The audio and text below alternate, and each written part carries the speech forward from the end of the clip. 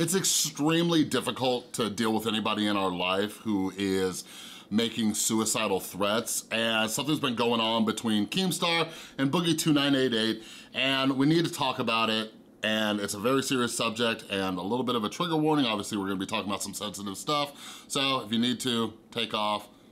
I'll see you next time.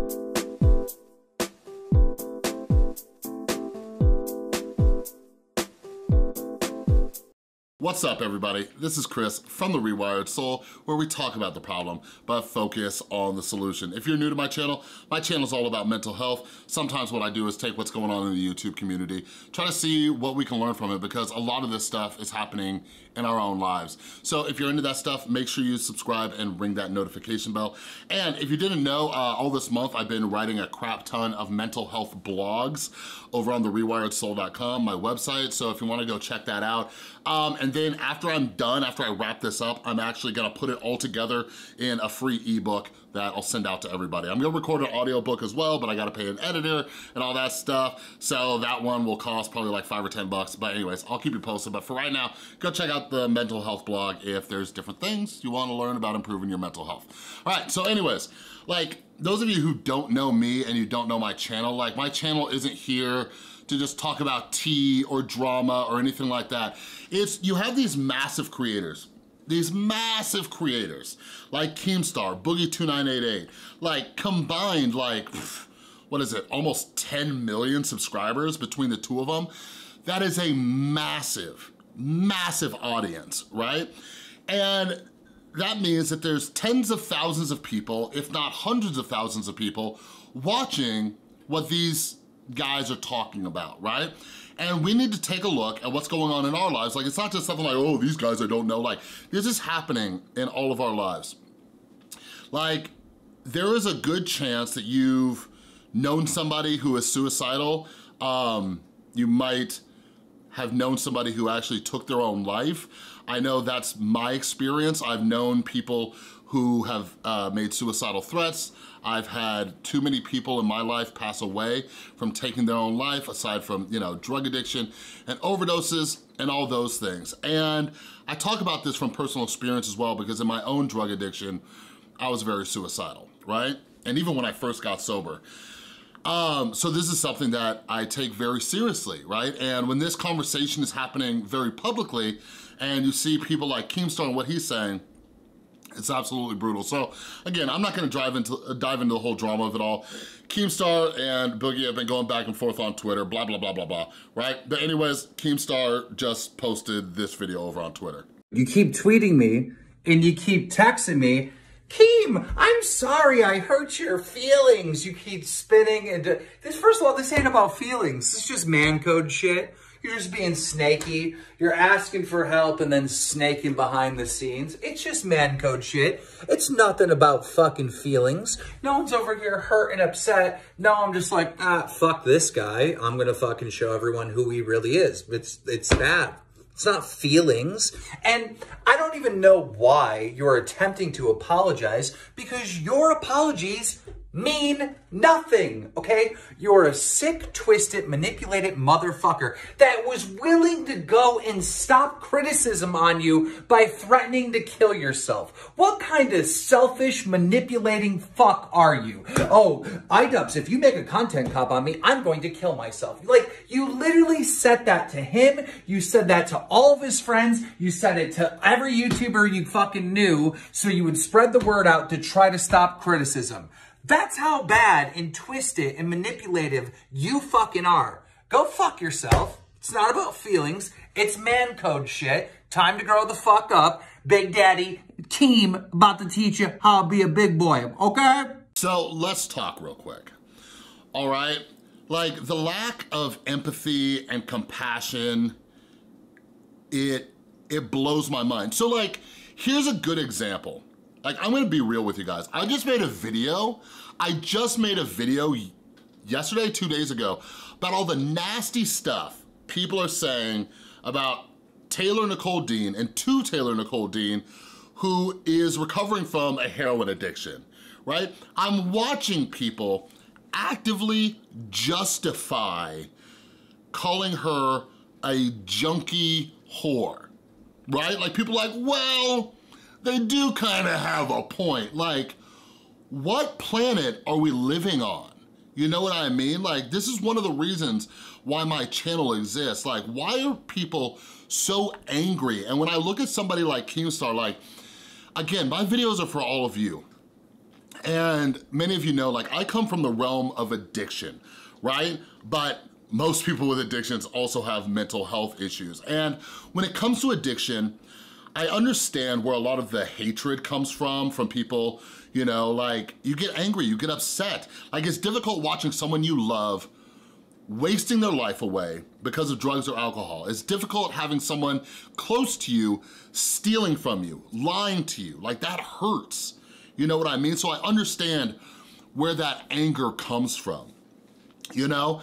And what I just try to teach is that these aren't bad people, uh, these are sick people right? Like the conversation around cancer would be much different if when you started getting, you know, symptoms of cancer, you started like stealing your mom's like jewelry and stuff like that, right? Like addiction messes with your brain. Now, very similar with mental illness, okay? Like certain mental illnesses make you do certain things.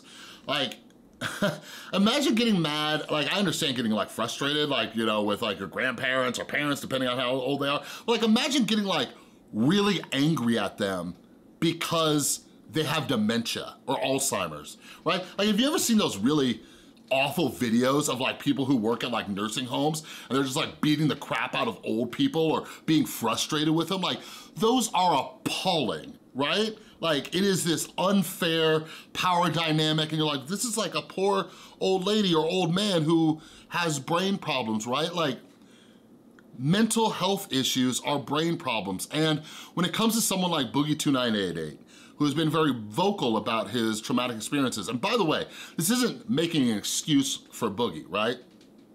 Like we all have to take accountability for our own mental health issues.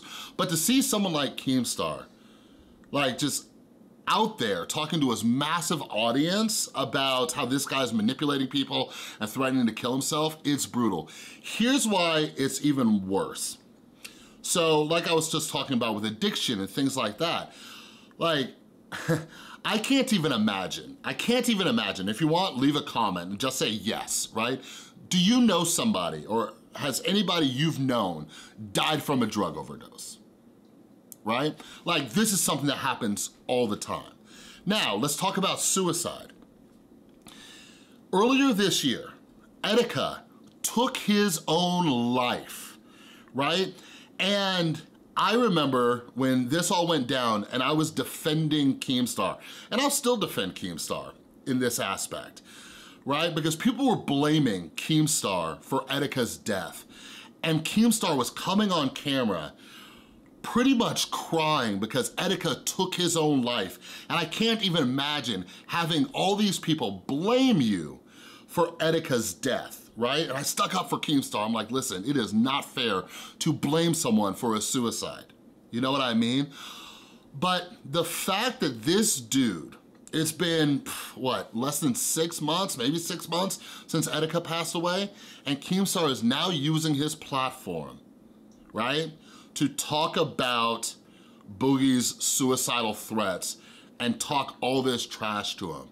Like, I just don't understand this lack of just human connection and not getting that, right? Like, play this scenario out again. And, you know, I'm very glad that Boogie has a support group. Um, I'm not sure if he's still in therapy, but I know he's talked about therapy before and even medications, everything like that. But like, play this scenario out. If Boogie were to take his own life, this that video I just showed you, everybody would plaster that all over the place, blame Keemstar again. Like, when is this dude just gonna chill? Like, we get it, man. Like, you're this like super tough bro dude, and like you got a sick beard and maybe like guns and hunting and stuff, but like, chill the hell out. Like, this is real stuff that's going on, and you know this because Etika just took his own life.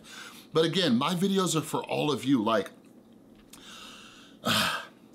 I, I don't have the time or hell, even the knowledge to walk you through how to deal with someone who makes suicidal threats, but I just finished this amazing book called uh, Stop Walking on Eggshells.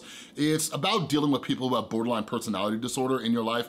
People with BPD, some people with BPD do threaten suicide, right? Some people with BPD do self-harm. Some people with BPD end up committing suicide, and many of those are accidental suicides from self-harm all right, or from threats. But anyways, in this book, Stop Walking on Eggshells, there are, there are a lot of tips on how to deal with someone who is threatening suicide because like, I've been on both sides of this thing as somebody who has been a drug addict, as someone who's been suicidal and made threats and everything like that, right? I've been on that side of it, and I've also had people threaten those things. You know what I mean? So I try to see it from both sides and I try to educate myself, but there will be um, information down in the description below. Like the holidays are coming up. This is a very rough time of year for a lot of people, but listen, if somebody, like this is just my suggestion, my advice from my experience. If somebody in your life is threatening suicide, right? You get them help, you call a wellness check, whatever it is, right? And if that person keeps doing it, you need to set up boundaries, all right? You cannot kill anybody and you cannot save them, all right? When they are threatening suicide, okay? So just remember those things. Guide them towards professional help or you might have to back away for your own mental and emotional well-being, all right? But anyways, that's all I got for this video. Again, there will be some resources down in the description below if you wanna check them out. Um, if you would like some mental health blogs, don't forget, check out my website, therewiredsoul.com. And yeah, uh, if you like the video, please give it a thumbs up. If you're new, subscribe, ring the notification bell, and a huge thank you to everybody who supports the channel over on Patreon, as well as everybody who supports the channel through buying my books and mental health merch and all that kind of stuff. All right, thanks again for watching. I'll see you next time.